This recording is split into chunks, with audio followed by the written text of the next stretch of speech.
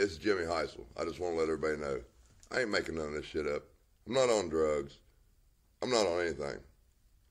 I don't do shit. I met this woman about six, seven months ago. Long story fucking short, I married her about two months ago. She said she's been trying to tell me something ever goddamn since we've been together. I've been cutting her fucking grass every fucking week I've been there. I come across the fucking bone, ask her questions about it, and, well, long story short, I found out more than I wanted to know. She'd been telling me shit for about six months about things about that pile. I've been wanting to move it and make a frog pond because I took a pool down and I was going to take the liner out and dig a hole and put a fucking koi fish pond and frog pond, whatever. Well, she told me, she's like, you don't want to do that. She says, there's things in the bottom of that hole that'll make you hate me. And she went on and on and on over the months, just fucking little head games. And finally, every time she'd talk to me about anything, I got that gut feeling she was trying to hold shit back from me.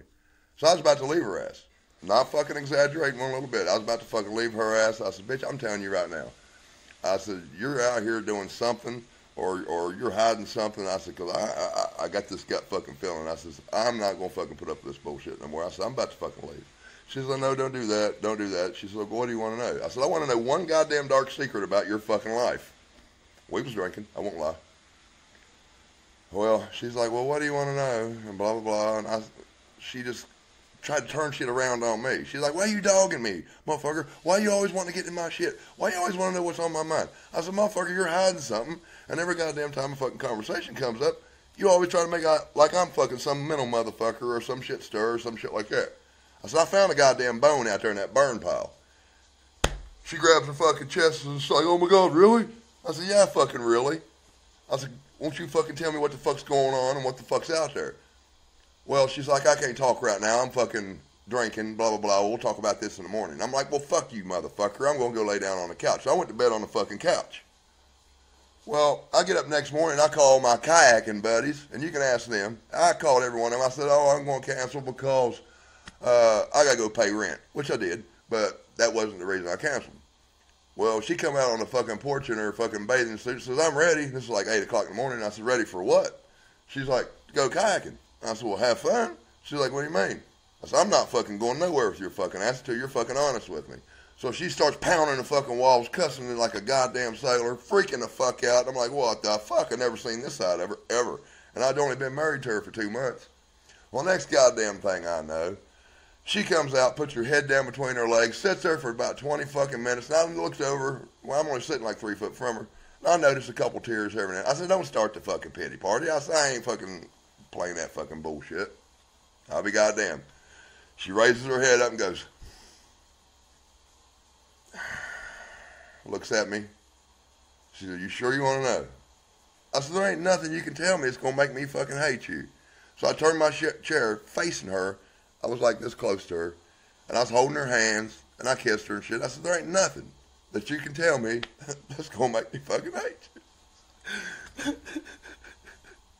I'm telling you right now. The fucking shit she told me, I wanted to fucking kill her my fucking self. Cause I got a goddamn daughter named Samantha. And I'm fucking about to die over this fucking bullshit. She said, Samantha Burns is right there. And I fucking about had a heart attack. So I tried to play it off. I said, that ain't nothing. She said, well, that ain't all. There's other bodies. And I'm like, whoa. So I said, you gotta, I fucking freaked the fuck out.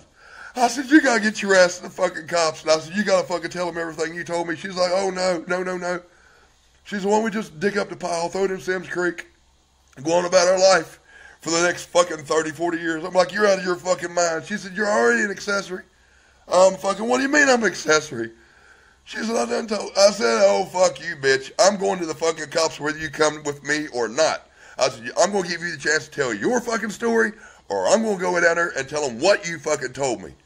Well, she said, close the door and sit down. Calm down. So I went and got down, fucking closed the door.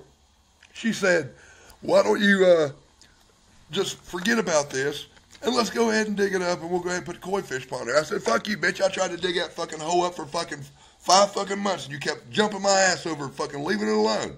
And I said, and then when I found a fucking bone, you want to start fucking shit and make me out a mental motherfucker. Well, I lost my business. I lost my home. I lost my fucking truck. I lost my kayaks. I lost every fucking thing. And then now she told me I opened up a goddamn can of worms that's going to get me fucking killed. She's got fucking a fucking goddamn nightmare I ain't never fucking heard. She told me shit that's stuck in my head. I can't even fucking sleep. And y'all motherfuckers want to act like I done lost my goddamn mind. I'm going to tell you right now. You're going to find fucking human remains. Mark my goddamn words. That's all I can say about that. And Rebecca Bocook Hughes, you're going to fucking see justice. I promise you, I will not fucking shut up. I will not fucking rest until you fucking see justice, you fucking dirty, black-hearted bitch. And that's all I got to fucking say.